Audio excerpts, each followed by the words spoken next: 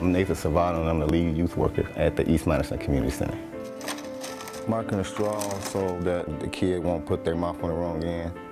We start science club at about 4 o'clock Fridays. Uh, today the kids are going to do a bubble project.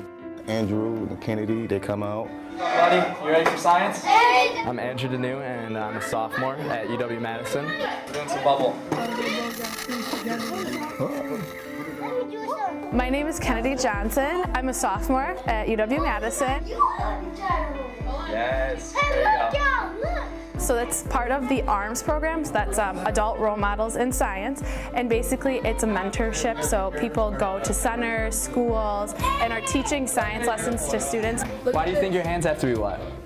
We're trying to get the kids to think more. We don't necessarily want to tell them the answer or give them the answer. So by asking more questions, then they can kind of creatively or more critically think about it. Hey, look at this! Oh! They believe that they can do science in the future. Oh! That was cool. And some of them even want to become scientists, they've told me. And they would have never thought that a year ago. Just popped off. Bubbles just start over. Really see the impact that we've been making on these kids. It's great. The bubble's gonna break. You gotta get your hands wet. Just a smile. I see a lot of smiles. I see them not thinking about what's bothering them, and they're just exploring. Let me try to transfer. Let's cheer for it! I like science and reaction of it. Okay, so you're going to use these tools, develop a lesson plan. So the course that I teach, Engage Children in Science, gives these university students all the tools they need to go out and lead science for kids. Let's try the buzzer. it does. So my class really helps to teach them how to work with young people, Oh, yay. What's important to young people, how they learn, how to uh, build community in a group.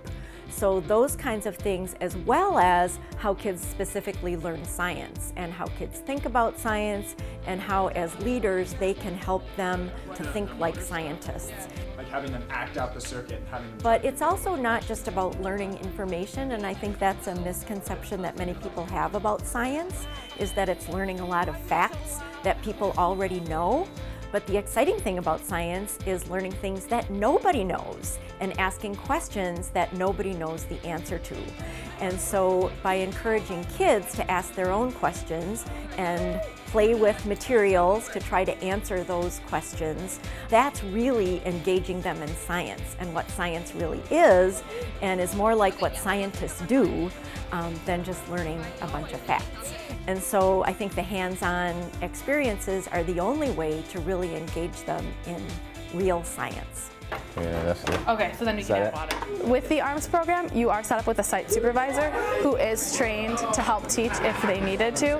Nate is so great and everybody loves him here. By us like showing him, then he can go on days that maybe Andrew and I can't come, he can teach it to them. And by him spreading it, it's showing that he's excited about science, the kids get excited about science, and other kids get excited about science. I like science and I love, I love what we do in science. Do you think a fan would work? Beautifully.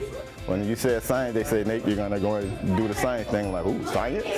so, I mean, but it's been it's been real fun. I think that's our, our overall goal is for them to see many adults in their lives as adult role models in science, whether it's this UW student who comes into their classroom once a week, or their after school leader, or their classroom teacher, or their parent, to really build the capacity of all those people to lead science experiences for those kids. We have right now 30 science clubs. Each of those has about 10 to 20 kids that participate from week to week.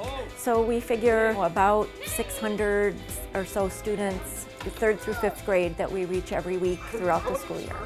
See where it pops on your arm. Right there. Wait, did you see that? I mean, putting this type of program in, in, in the community and leaving us with the resources so we can do it after this is done is just, it's just great. I think the UW is doing a great job. So it's getting them to think about science now and think about doing something with their life that, and show them that it's fun. Thank you for, you know, bringing me here.